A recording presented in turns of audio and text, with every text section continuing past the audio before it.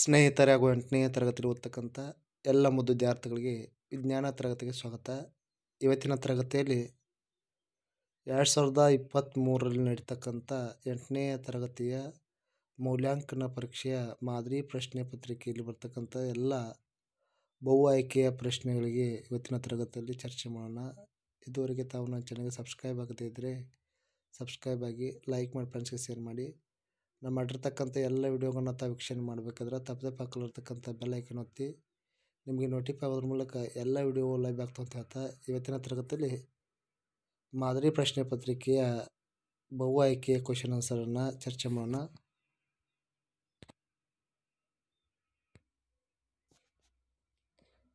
ಕರ್ನಾಟಕ ಶಾಲಾ ಪರೀಕ್ಷೆ ಮತ್ತು ಮೌಲ್ಯ ನಿರ್ಣಯ ಮಂಡಳಿ ಮಲ್ಲೇಶ್ವರಂ, ಬೆಂಗಳೂರು ಇವರು ನಡೆಸ್ತಕ್ಕಂಥ ಮಾರ್ಚ್ ಎರಡು ಸಾವಿರದ ಇಪ್ಪತ್ತರಲ್ಲಿ ನಡೆಸ್ತಕ್ಕಂಥ ಒಂದು ಮಾದರಿ ಪ್ರಶ್ನೆ ಪತ್ರಿಕೆ ಮೌಲ್ಯಾಂಕನ ಪರೀಕ್ಷೆಯಲ್ಲಿ ಈ ರೀತಿ ಇರ್ತಕ್ಕಂಥದ್ದು. ಮೊದಲನೇದಾಗಿ, ವಿದ್ಯಾರ್ಥಿಗಳು ತಮ್ಮ ಹೆಸರನ್ನು ಎಸ್ ಟಿ ಎಸ್ ನಂಬರನ್ನು ವಿದ್ಯಾರ್ಥಿ ಸಂಖ್ಯೆಯನ್ನು, ಆಮೇಲೆ ಡ್ರೈಸ್ ಕೋಡನ್ನು ಶಾಲೆ ಹೆಸರನ್ನು ಕ್ಲಸ್ಟರ್ ಬ್ಲಾಕ್ ಜಿಲ್ಲೆಯನ್ನು ತುಂಬಿಕೊಳ್ಬೇಕಾಗ್ತದೆ ಇದು ಮೌಲ್ಯಮಾಪನ ಮಾಡ್ತಕ್ಕಂಥದ್ದು. ಇನ್ನು ಈ ರೀತಿ ಕ್ವಶನ್ ಇರ್ತಕ್ಕಂಥದ್ದು. ಫಸ್ಟ್ ಕ್ವಶನ್ ಬರೋಣ. ಒಂದರಿಂದ ಇಪ್ಪತ್ತರವರೆಗಿನ ಪ್ರಶ್ನೆಗಳಿಗೆ ನೀಡಲಾಗಿರ್ತಕ್ಕಂಥ ನಾಲ್ಕು ಆಯ್ಕೆಗಳಲ್ಲಿ ಸೂಕ್ತವಾದ ಉತ್ತರವನ್ನು ಆರಿಸಿ ನಿಗದಿಪಡಿಸಿರುವ ಸ್ಥಳದಲ್ಲಿ ಕಮಾಕ್ಷರದೊಂದಿಗೆ ಉತ್ತರಗಳನ್ನು ಬರೆಯಿರಿ. ಅದರಲ್ಲಿ ಮೊದಲನೇ ಪ್ರಶ್ನೆ. ಈ ಕೆಳಗಿನ ಚಿತ್ರವು ಪ್ರತಿನಿಧಿಸುವುದು. ಈ ಕೆಳಗಿನ ಚಿತ್ರವು ಪ್ರತಿನಿಧಿಸುವುದು. ಇದು ಯಾವ ಚಿತ್ರ ಅಂದಾಗ ಇಲ್ಲಿ ನೋಡ್ಬೋದು ಈ ರೀತಿ ಒಳಭಾಗದಲ್ಲಿ ನಾವು ಲೇಪನ ಮಾಡಿದರೆ ಇದು ಪೀನ ದರ್ಪಣ ಆಗ್ತದೆ.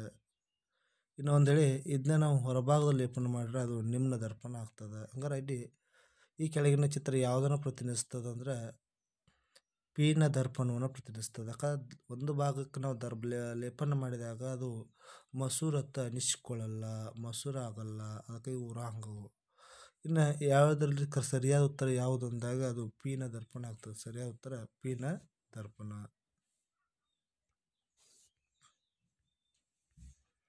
ಇನ್ನು ಸೌರಮಂಡಲದಿಂದ ಕೆಂಪಾದ ಬಣ್ಣದ ಗ್ರಹ ಯಾವುದು? ನೋಡಿ, ಸೌರಮಂಡಲದ ಕೆಂಪಾದ ಗ್ರಹ ಯಾವುದಂದ್ರೆ ಆಪ್ಷನ್ ನೋಡೋಣ ಭೂಮಿ, ಮಂಗಳ, ಗುರು, ನೆಪ್ಚೂನ್. ಭೂಮಿ ನೈಸರ್ಗಿಕ ಉಪಗ್ರಹ. ಗುರುಗ್ರಹ, ಮಂಗಳ ದೊಡ್ಡ ಗ್ರಹ. ನೆಪ್ಚೂನ್ ತಂಪಾದ ಗ್ರಹ. ಮಂಗಳ ಗ್ರಹವನ್ನು ಕೆಂಪಾದ ಗ್ರಹ ಅಂತ ಕರಿತೀವಿ. ಸರಿಯಾದ ಉತ್ತರ? ಮಂಗಳ ಗ್ರಹ.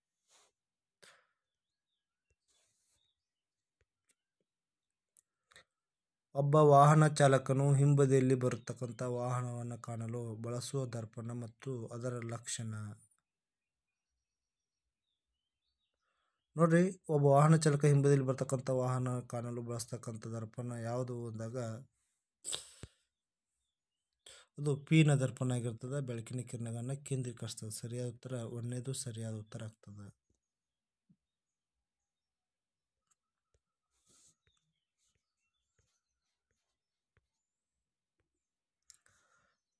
ಧೂಮಕೇತುವು ಪ್ರಕಾಶಮಾನವಾದ ತಲೆ ಮತ್ತು ಉದ್ದನೆಯ ಬಾಲವನ್ನು ಹೊಂದಿರುವಂತೆ ಕಂಡುಬರ್ತದೆ. ಏಕೆಂದರೆ, ನೋಡಿ, ಧೂಮಕೇತು ಪ್ರಕಾಶಮಾನ ತಲೆ ಮತ್ತು ಉದ್ದನೆಯ ಬಾಲವನ್ನು ಹೊಂದಿರುವಂತೆ ಯಾಕೆ ಕಂಡು ಬರ್ತದೆ ಅಂದ್ರೆ ಆಪ್ಷನ್ ಇ ಸೂರ್ಯನ ಸಮೀಪಿಸಿದಂತೆ ಅದರ ಬಾಲ ಉದ್ದವಾಗಿ ಬೆಳೀತದೆ ಚಂದ್ರನ ಸಮೀಶ್ ಸಮೀಪಿಸಿದಂತೆ ಅದರ ಬಾಲ ಉದ್ದವಾಗಿ ಬೆಳೀತದೆ ಭೂಮಿ ತಲುಪಿದಂತೆ ಅದರ ಚಲನೆ ನಿಧಾನವಾಗ್ತದೆ.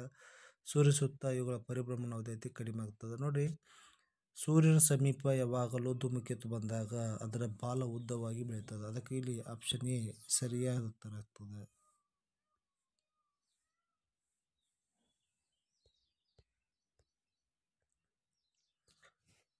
ಐದನೇ ಬಹು ಪ್ರಶ್ನೆ.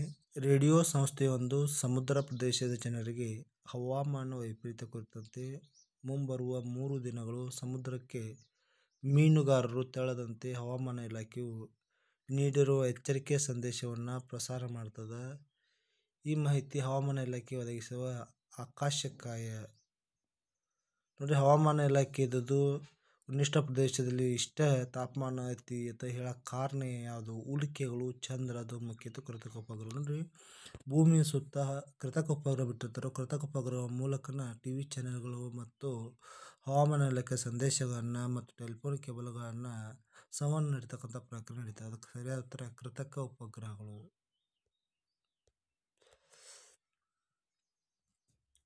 ಆರನೇದು ವಿದ್ಯಾರ್ಥಿಯೊಬ್ಬನು ರಾತ್ರಿ ಆಕಾಶದಲ್ಲಿ ವೀಕ್ಷಿಸುತ್ತಿದ್ದಾನೆ. ನಕ್ಷತ್ರ ಪುಂಜವೊಂದರ ನಕ್ಷತ್ರಗಳ ನಡುವೆ ಗೆರೆಗಳು ನಡೆದಂತೆ ಭಾವಿಸಿದಾಗ ಉಂಟಾದ ಆಕೃತಿಯು ಬೇಟೆಗಾರನಂತೆ ಕಾಣುವುದು ಕಲ್ಪಿಸಿಕೊಳ್ಳುತ್ತಾನೆ ಈ ನಕ್ಷತ್ರ ಪುಂಜ ಬೇಟೆಗಾರ ನಕ್ಷತ್ರ ಪುಂಜ ಯಾವುದು ಅಂತ ಕೇಳ್ತಾರೆ. ಬೇಟೆಗಾರ ದೊಡ್ಡ ಕರಡಿ, ಲುಬ್ಧಕ ಅಥವಾ ಮಹಾವಾದ್ಯ ಕ್ಯಾಸಿಯೋಪಿಯ, ಸಿಂಹಮಂಡಲ, ಎಲ್ಲ ನಕ್ಷತ್ರವನ್ನು ಜೋಡಿಸಿದಾಗ ಅದು ಬೇಟೆಗಾರನಂತೆ ಕಾಣ್ತದ್ರೆ ಅದಕ್ಕೆ ನಾವು ಲುಬ್ಧಕ ಅಥವಾ ಮಹಾವಾದ್ಯ ನಕ್ಷತ್ರ ಪುಂಜ ಅಂತ ಕರಿತೇವೆ. ಮಹಾವಾದ್ಯ ನಕ್ಷತ್ರ ಪುಂಜ.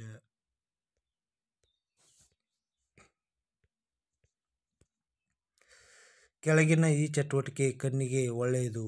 ಕೆಳಗಿನವುಗಳಲ್ಲಿ ಈ ಚಟುವಟಿಕೆಯು ಕಣ್ಣಿಗೆ ಒಳ್ಳೆಯದು. ಮಂದ ಬೆಳಕಿನಲ್ಲಿ ಪುಸ್ತಕವನ್ನು ಓದುವುದು, ಧೂಳಿನ ಕಣಗಳು ಪ್ರವೇಶಿಸಿದಾಗ ಕಣ್ಣನ್ನು ಉಜ್ಜುವುದು, ಸೂರ್ಯ ಅಥವಾ ಪ್ರಕಾಶ ಬೆಳಕನ್ನು ಬರಿಗಿನಿಂದ ನೋಡದಿರುವುದು, ಅತಿ ಹತ್ತಿರದಿಂದ ಪುಸ್ತಕವನ್ನು ಓದುವುದು.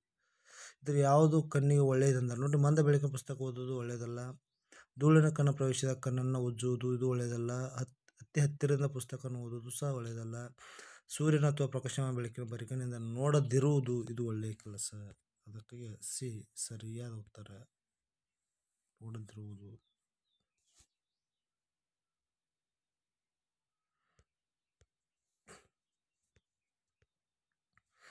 ಎಂಟನೇ ಪ್ರಶ್ನೆ, ಒಂದು ಗಾಜಿನ ಪಟ್ಟಕದ ಮೂಲಕ ಬಿಳಿಯ ಬೆಳಕಿನ ಕಿರಣ ಹಾದು ಹೋದಾಗ ಏಳು ಬಣ್ಣಗಳಾಗಿ ವಿಭಜಿಸಲು ಕಾರಣವಾದ ವಿದ್ಯಮಾನ. ಬೆಳಕಿನ ವಕ್ರೀಭವನ ವರ್ಣ ಸಂಯೋಜನೆ, ಬೆಳಕಿನ ಧ್ರುವೀಕರಣ, ಬೆಳಕಿನ ವಿವರ್ತನೆ. ನೋಡಿ ಗಾಜಿನ ಪಟ್ಟದ ಮೂಲಕ ಬಿಳಿ ಬೆಳಕನ್ನು ಹಾರಿಸಿದಾಗ ಏಳು ಬಣ್ಣಗಳ ವಿಭಜನೆ ಆಗ್ತದೆ. ಅದಕ್ಕೆ ಬೆಳಕಿನ ವರ್ಣ ವಿಭಜನೆ ಅಂತ ಕರೆಯಲಾಗ್ತದೆ ಅಥವಾ ಬೆಳಕಿನ ಸಂಯೋಜನೆ ಅಂತಲೂ ಕರಿತಾರೆ. ಬೆಳಕಿನ ವಕ್ರೀಭವನ ಅಲ್ಲ, ಧ್ರುವೀಕರಣ ಅಲ್ಲ, ವಿವರ್ತನೆ ಅಲ್ಲ, ಬೆಳಕಿನ ಸಂಯೋಜನೆ ಆಗ್ತದೆ. ಹೌದ್ರಿ? ಬೆಳಕಿನ ಸಂಯೋಜನೆ. ಒಂಬತ್ತನೇದು ಇವುಗಳಲ್ಲಿ ದಹ್ಯ ವಸ್ತುವನ್ನು ಗುರುತಿಸಿ. ಇವುಗಳಲ್ಲಿ ದಹ್ಯ ವಸ್ತುವನ್ನು ಗುರುತಿಸಿ. ಕಲ್ಲು, ಗಾಜು ಒಣಹುಲ್ಲು ಕಬ್ಬಿಣದ ಮೊಳೆ. ಕಲ್ಲು, ಗಾಜು ಒಣಹುಲ್ಲು ಕಬ್ಬಿಣದ ಮೊಳೆ. ನೋಡಿ, ಕಲ್ಲಿಗೆ ಉರಿಯಲ್ಲ ಗಾಜು ಉರಿಯಲ್ಲ ಒಣಹುಲ್ಲು ಸುಲಭವಾಗಿ ಉರಿತದೆ ಅದಕ್ಕಾಗಿ ಇಲ್ಲಿ ಸರಿಯಾದ ಉತ್ತರ ಯಾವುದಂದ್ರೆ ಒಣಹುಲ್ಲು ಆಗ್ತದೆ. ಯಾಕೆ ಕಬ್ಬಿಣ ಮೊಳೆ ಇವೆಲ್ಲ ಉರಿಲ್ಲ ಇದೆಲ್ಲ ಉರಿಯಲ್ಲ ಕಲ್ಲು ಮಾತ್ರ ಕಲ್ಲು ಉರಿಯಲ್ಲ ಒಣ ಹುಲ್ಲು ಮಾತ್ರ ಬೇಗನೆ ಉರಿ ಹತ್ತದ ದೇಹ ವಸ್ತು ಆಗ್ತದೆ. ಇವುಗಳಲ್ಲಿ ಅತ್ಯುತ್ತಮ ವಿದ್ಯುತ್ನ ವಾಹಕ, ತಾಮ್ರದ ತಂತಿ, ಉಕ್ಕಿನ ಪಿನ್ನು, ಕಬ್ಬಿಣದ ಮೊಳೆ, ಮೆಗ್ನೀಷಿಯಂ ಪಟ್ಟಿ, ಅತ್ಯುತ್ತಮ ವಿದ್ಯುತ್ನ ವಾಹಕ ಕಬ್ಬಿಣದ ಮೂಲಕ ವಿದ್ಯುತ್ ಸುಲಭವಾಗಿರಲ್ಲ ಕಬ್ಬಿಣ ಮೊಳೆ ಅದಕ್ಕೆ ಮೆಗ್ನೀಷಿಯಂ ಪಟ್ಟಿ ವೇಗವಾಗಿ ಇರ್ತದೆ ಅದು ವಿದ್ಯುತ್ ವಾಹಕ ಅಲ್ಲ, ಉತ್ತಮ. ವಿದ್ಯುತ್ನ ಉತ್ತಮ ವಾಹಕ ಅಂದ್ರೆ ತಾಮ್ರದ ತಂತಿ, ಎ ಕರೆಕ್ಟು ಈ ವಿದ್ಯಮಾನವನ್ನು ಗುರುತಿಸಿ. ಇಲ್ಲಿ ವಿದ್ಯಮಾನ ನೋಡಿದಾಗ ರಭಸವಾದ ಗಾಳಿ ಬೀಸ್ತಕ್ಕ ಸನ್ನಿವೇಶ, ಬಿರುಗಾಳಿ ಬೀಸ್ತಕ್ಕ ಸನ್ನಿವೇಶ ಅದಕ್ಕೆ ಅಲೆಗಳು ಬಿರುಗಾಳಿ ಮಿಂಚು ಭೂಕಂಪ ಅಂತ ಕೇಳಿದ್ರು ಇಲ್ಲಿ ಬಿರುಗಾಳಿ ಹೇಳ್ಬೋದು. ಸರಿಯಾದ ಥರ ಯಾವುದು? ಬಿರುಗಾಳಿ.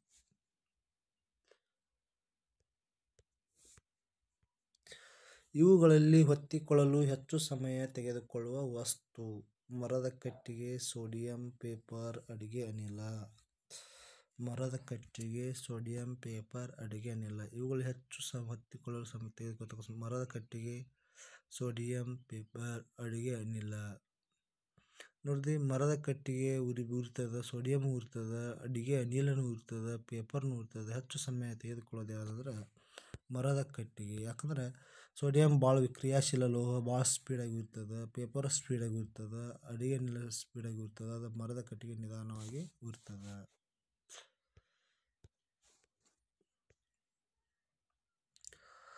ಪ್ರವಾಸಕ್ಕೆ ಹೋದ ವಿದ್ಯಾರ್ಥಿಗಳು ಶ್ರವಣಬೆಳಗೊಳದಲ್ಲಿರುವ ಗೊಮ್ಟೇಶ್ವರನ ವಿಗ್ರಹದ ಹಿಂಭಾಗದಲ್ಲಿ ತಲೆಗಿಂತ ಎತ್ತರವಾಗಿ ಒಂದು ಲೋಹದ ಕಂಬಿ ಇರುವುದನ್ನು ಗಮನಿಸುತ್ತಾರೆ. ಈ ಲೋಹದ ಕಂಬಿಯ ಕಾರ್ಯ ಮಿಂಚಿನಿಂದ ವಿದ್ಯುತ್ ಶಕ್ತಿಯನ್ನು ಉತ್ಪಾದಿಸಲು, ಮಿಂಚಿನ ಪ್ರಮಾಣವನ್ನು ಹೆಚ್ಚಿಸಲು, ವಿಗ್ರಹವನ್ನು ಮಿಂಚಿನಿಂದ ರಕ್ಷಿಸಲು, ವಿಗ್ರಹಕ್ಕೆ ಮಿಂಚಿನ ಬೆಳಕನ್ನು ಪ್ರತಿಫಲಿಸಲು. ಈ ಕಂಬದ ಕೆಲಸ ಏನಂದ್ರೆ ವಿಗ್ರಹವನ್ನು ಮಿಂಚಿನಿಂದ ರಕ್ಷಣೆ ಮಾಡ್ತದೆ ಯಾಕಂದ್ರೆ ಕಬ್ಬಿಣದ ವಸ್ತುಗಳು ಮಿಂಚಿನ, ಮಿಂಚನ್ನು ಭೂಮಿಗೆ ಕಳಿಸ್ತಾವ ಅರ್ಥಿಂಗನ್ನು ಮಾಡ್ತಾವು.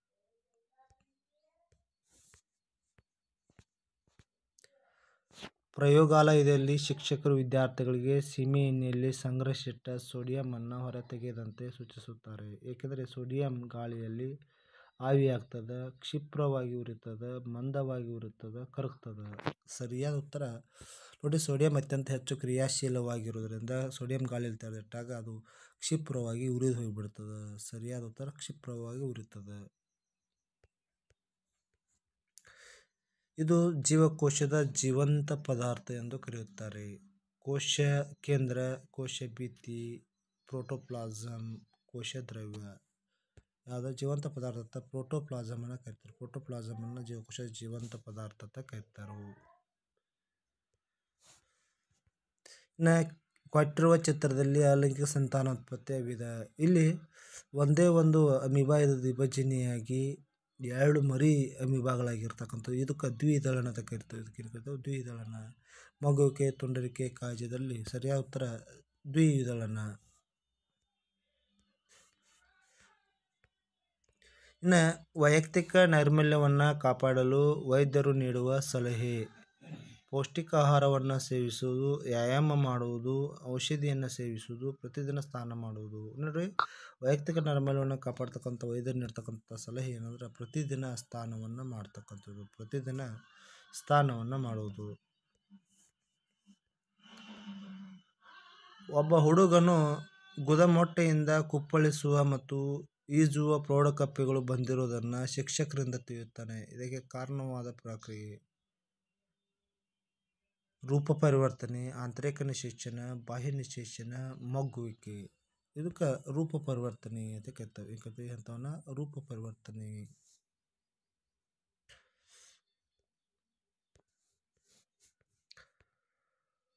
ಒಬ್ಬ ಪ್ರಾಜ್ಞ ಗ್ರಾಹಕನು ಪೆಟ್ರೋಲ್ ಮತ್ತು ಡೀಸೆಲ್ ಕಾರುಗಳ ಹೊರತಾಗಿ ವಿದ್ಯುತ್ ಚಾಲಿತ ಕಾರನ್ನು ಖರೀದಿಸುತ್ತಾನೆ. ಅದರ ಹಿಂದಿನ ಕಾರಣ ಕಡಿಮೆ ಬೆಲೆ ಇದೆ. ಓಡಿಸುವಾಗ ಜೋರಾದ ಶಬ್ದ ಬರ್ತದೆ, ಅತಿ ಹೆಚ್ಚು ವೇಗದಿಂದ ಚಲಿಸಲು ಸಾಧ್ಯವಾದ ವಾಯುಮಾಲಿನ್ಯ ಉಂಟು ಮಾಡುವುದಿಲ್ಲ. ನೋಡಿರಿ ಡೀಸೆಲ್ ಕಾರು ಹೊರತಾಗಿ ವಿದ್ಯುತ್ ಚಾಲಿತ ಕಾರನ್ನು ಖರೀದಿಸೋ ಕಾರಣ ಅಂದರೆ ವಾಯುಮಾಲಿನ್ಯವನ್ನು ಉಂಟು ಮಾಡಲ್ಲ. ಆ ಉದ್ದೇಶದಿಂದ ವಾಯುಮಾಲಿನ್ಯವನ್ನು ಉಂಟು ಮಾಡಲ್ಲ.